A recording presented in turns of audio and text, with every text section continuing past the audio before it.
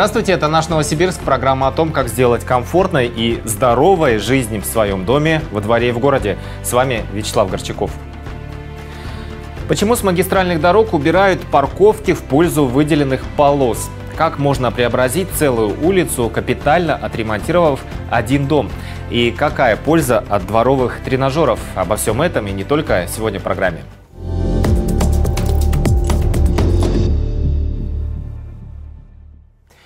Парковочные карманы скоро уберут вдоль вокзальной магистрали улиц Титова и Станиславского. Вместо них в рамках ремонта этих дорог по нацпроекту обустроят выделенные полосы для общественного транспорта. Почему отдали приоритет автобусам и троллейбусам и как еще изменятся эти ключевые магистрали? Все подробности далее.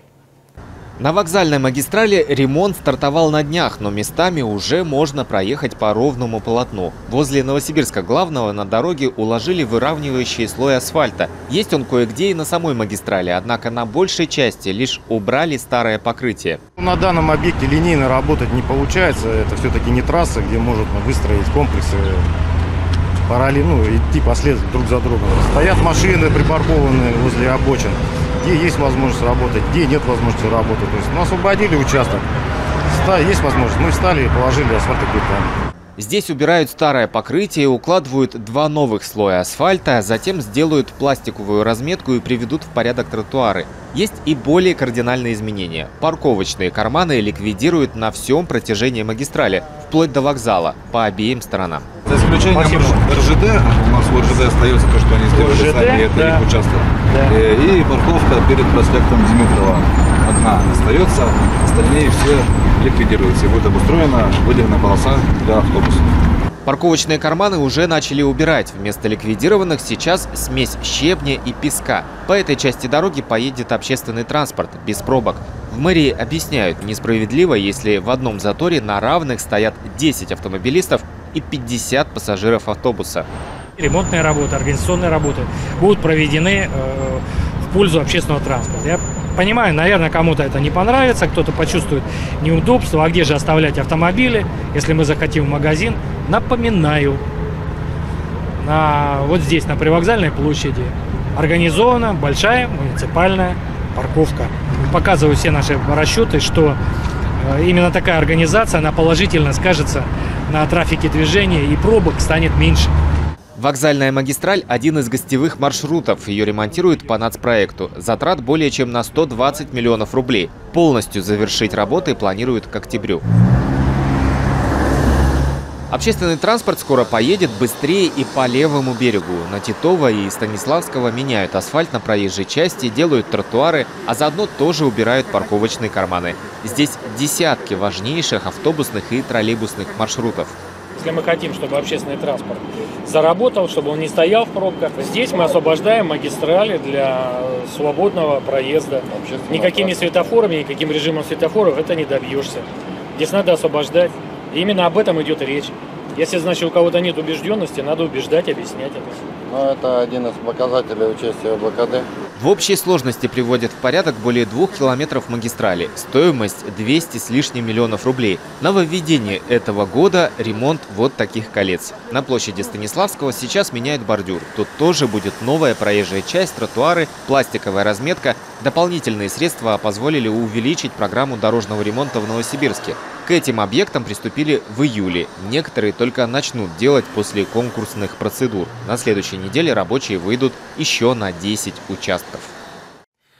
Детский сад в микрорайоне Просторный обещают сдать к концу года. Строительство пока затягивается из-за корректировки документации. Проект трехлетней давности пришлось несколько изменить с учетом новых норм. Пока экспертиза не дала положительное заключение, но работы подрядчик не останавливает. Детсад должен принять 265 детей. Открытие второго дошкольного учреждения в быстро растущем микрорайоне жители ждут с нетерпением. Стоимость работ больше 300 миллионов рублей. В ожидании положительного заключения госглав экспертизы, которое предоставят в сентябре, подрядчик строит детсад за свой счет. Тем не менее, работы не останавливают.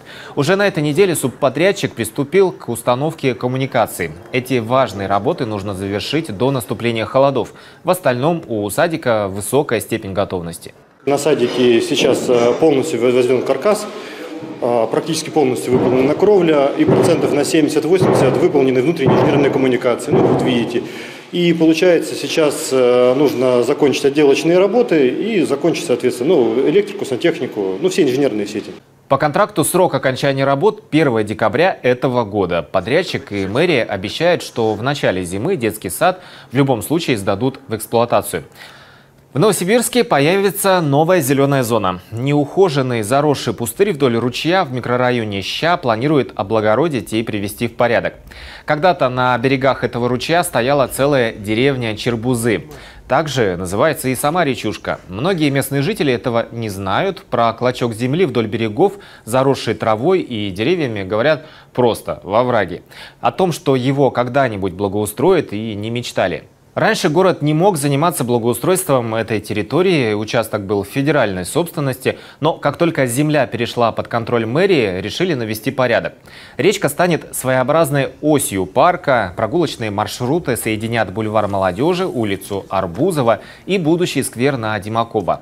Проект парка еще только планируют разработать, опираясь на мнение жителей. Есть уже и потенциальные инвесторы. Один из застройщиков заинтересован в том, чтобы благоустроить эту территорию. Наша задача, как это, принять все пожелания и с архитекторами, с дизайнерами отработать, также согласовать потом жителям, жителями и потихонечку приступать к реализации данного проекта.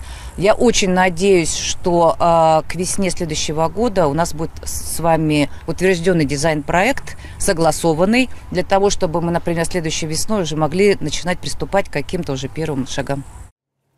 Жители левого берега, которые привыкли делить отходы по категориям, теперь могут сдавать их на переработку прямо рядом с домом. Там появились мобильные пункты приема вторичного сырья. В Кировском районе ежедневно работают машины, которые принимают отсортированное сырье, причем за вознаграждение. Сдать можно пластик, макулатуру, картон, стеклянные бутылки и банки, в том числе битые, а также алюминиевые банки и посуду. Такие мобильные пункты есть практически на всех ключевых улицах левого берега. Адреса вы сейчас видите на экране. Организацией раздельного сбора отходов занимается компания «Неотход», которая в дальнейшем передает их на переработку. Узнать подробнее о времени работы мобильных пунктов можно в инстаграм-аккаунте компании. Один из самых заметных домов в районе парка Кирова кардинально преобразился после капитального ремонта. Прежде зеленая сталинка с облупившейся штукатуркой и неуместными вент-фасадами вдоль первого этажа теперь совсем другого цвета и выглядит гораздо аккуратнее. Мы прогулялись вокруг дома на Котовского 11 с его председателем и рассмотрели детали.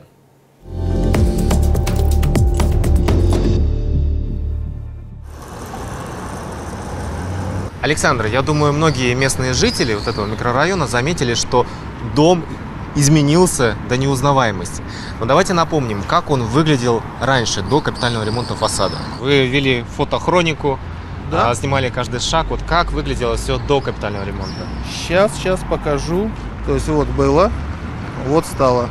Дом был зеленого цвета, был выцекший вверх, и ну, с этой стороны были последствия как раз э, использования его, этого фасада в виде торговли. Ну, кстати, он особенно раздражал, но, ну, честно сказать, меня тоже, потому что я частенько здесь проходил.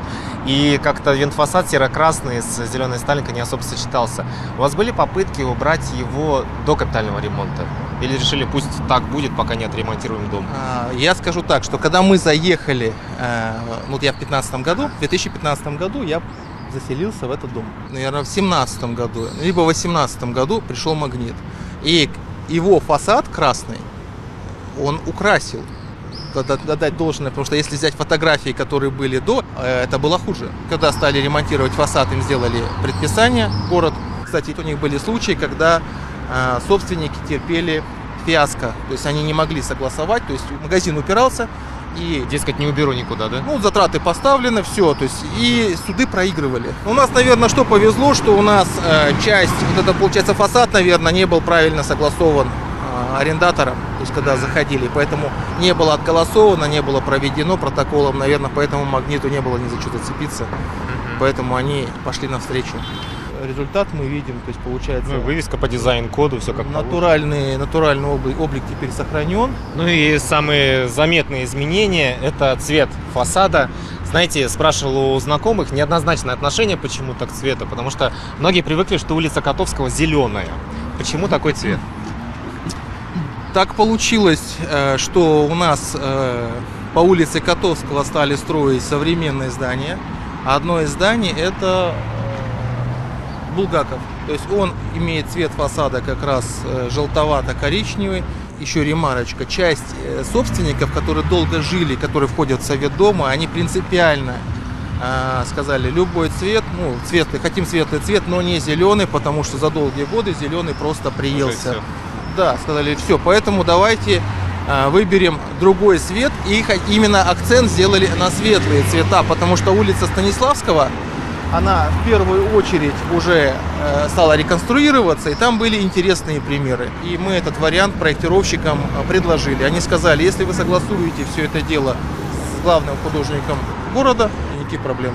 А было сложное это согласование получить? Как это вообще происходит? Была одна встреча, по большому счету. То есть мы приехали с проектировщиками, э, приложили письмо, просим заменить фасад. Он говорит, я взял реестр оралов, посмотрел. Проектировщики получили формальное добро, а по факту потом говорит, что если надо, необходимо, то в процессе подключиться и все. И после этого сделали, выбрали э, ряд фотографий, которые в совет сначала узким кругом посмотрели, потом э, донесли всем собственникам. А, провели такое в чате голосование. Кто хотел, тот э, принял решение. В основном все были за. Цвет, если смотреть на этот дом и место его расположения, то он как бы находится в углу улицы. Он, он не середину, он не выбивается из колеи. Получается, он является как э, углом двух улиц. И такие ворота своеобразные, да, на и улице? Поэтому, и поэтому мы его сделали сродни нового комплекса по цвету. То есть он как бы так сочетается. Я думаю, дома плавно из капремонтов поменяют цвета, скорее всего. Ну, уточним, э, у вас дом хоть и старый, хоть и образец Сталинки, но это не памятник архитектуры. Не памятник архитектуры. Но, тем не менее, есть лепнина. Э, насколько сложно ее было восстанавливать? Кстати, э, поговорив с подрядчиком, получается, он сказал, что да, заказали слепок, выполнили его. И, кстати, я вот даже не заметил, как они быстро это все дело организовали. Еще нельзя не обратить внимание, что провода спрятали э, под металл чисто под цвет фасада, да? Как так подобрали? А, вот это тоже, кстати, надо дать должное а, подрядчику. Куча проводов, и мы тут э, бились проводами, но все равно для меня, вот честно, пока вот до последнего, пока они не закрывали коробами, я думал, как это будет выглядеть. Но когда э, работа началась, когда они стали закрывать провода, э, как раз в цвет фасада, потому что под цвет они заказывали заранее, ну, краску уже они производят и колируют они, поэтому все получилось прям идеально. Причем э, закрывали провода и с изнаночной стороны, да, со стороны двора. Да. Сколько стоил ремонт фасада? Примерно. А, так, ну, ну, я думаю, не меньше, наверное, 20 миллионов. И насколько я понимаю, это уже был такой последний, очень жирный штрих, то есть у вас полностью отремонтирован дом, или что-то осталось Всё. еще? Теперь у нас ремонт подъездов начинается. Но это будет достаточно так серьезные капиталовложения, то есть поэтому ну, мы стараемся откладывать, у нас есть тут доходы дома кое-какие, поэтому осовременим и, и снаружи, и снутри.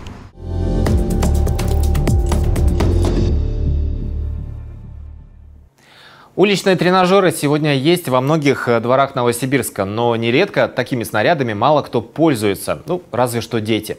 Недооценивают, считают специалисты в области восстановительной медицины. Ведь на самом деле даже простые дворовые тренажеры полезны для мышечного корсета и самочувствия. Ларисе 64 года. Уверяет, сегодня она себя чувствует куда лучше, чем 20 лет назад. Сохранять силы и молодость помогает спорт. По словам Ларисы, начать заниматься нетрудно. Главное понимать, для чего это нужно, и тренировки будут только в удовольствие. Я думаю, что если ты хочешь быть стройным, молодым, бодрым, энергичным, здоровым, то это несложно совершенно. Часик позаниматься на свежем воздухе. Сегодня Лариса вместе со своей группой и активистками ТОС «Шевченковский» занимается на уличных тренажерах. Такие есть во многих дворах Новосибирска. По словам специалистов, эти снаряды действительно полезны, если использовать их регулярно хотя бы по 20 минут. Я думаю, что возраст в принципе, не ограничен, потому что в любом возрасте мышцы должны быть крепкие, потому что они связывают наш аппарат, э, костный я имею в виду, да.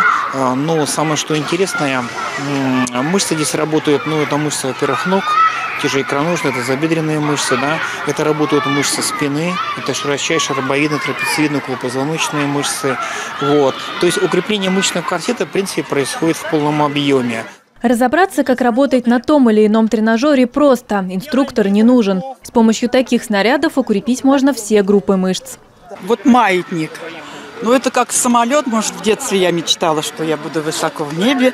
И поэтому, ну, вообще, энергия сразу понимаете, от земли и сверху. Это позвоночник, руки и вот координация. Нагрузка на мышцы здесь не такая большая, как на профессиональных тренажерах. Атлетам вряд ли подойдет, для физкультуры в самый раз. Но перед каждым занятием все равно нужно хорошенько размяться. Благодаря этому тренажеру укрепляется мышечный корсет, то есть мышцы шеи, спины, поясницы и даже рук. Благодаря этому снимается лишняя нагрузка с позвоночника. Спортивный зал – это да. Но вот люди, которые по старшего возраста, другой раз выхожу утром, они занимаются. Чтобы не ходить далеко, все нам лишний раз уже возраст свой берет. Тренер рекомендует заниматься на таких тренажерах в удобной, легкой и свободной одежде. На снарядах можно работать и зимой. Главное, чтобы с них вовремя счищали снег. И это все на сегодня. Предлагайте свои темы. Выпуски программы смотрите также на наших официальных интернет-каналах и слушайте на радио «Городская волна». Всего вам доброго. До встречи в эфире.